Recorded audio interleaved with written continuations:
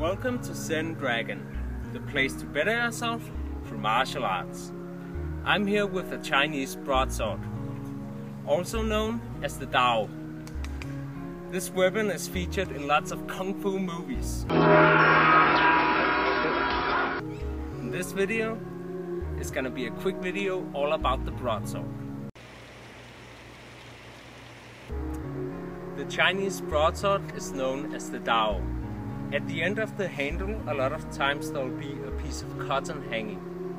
This is called the Tao Tsai. It's often used in Wushu because it will make the movements look a lot flashier. But it also has martial application as it will always be a colorful piece of clothing and it can actually distract the opponent a bit. Let's see. There's two sides of the blade and the front one is the sharp one. Because the other end isn't sharp, you can use it, you can use your hand to support it. You can also use your shoulder, for instance when blocking. But don't use the shoulder of the same arm you're holding the weapon in because then it becomes more awkward and also you're really close to your neck. Now if you don't want to chop your opponent's head off then you can also strike here with the handle. And um, it's a close range combat weapon. For this reason you will be holding it like perhaps a fist's length between your elbow and your body and you will only rarely thrust out and extend your arm.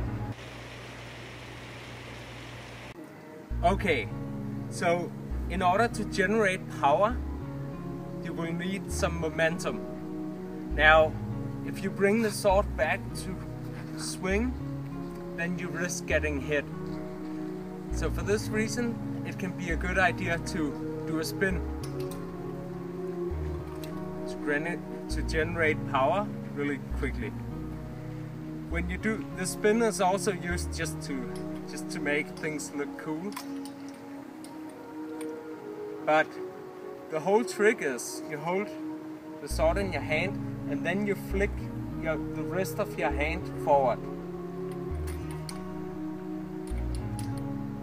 You can open up your hand, which makes it easier, but you can also do it while holding, which is a good idea in combat scenarios. Usually you won't find yourself in a combat scenario, but just so you know.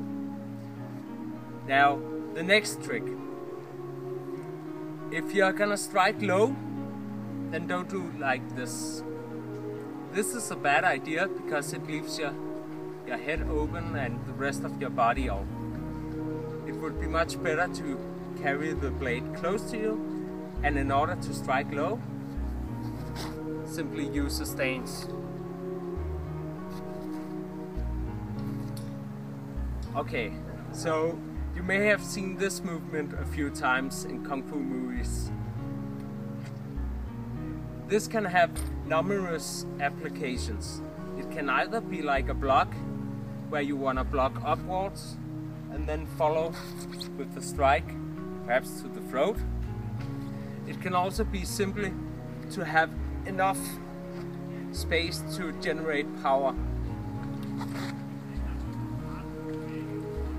And also if you don't want to like chop the head off your opponent, you can actually use the handles simply to strike like with a stick or something. You can go for the chin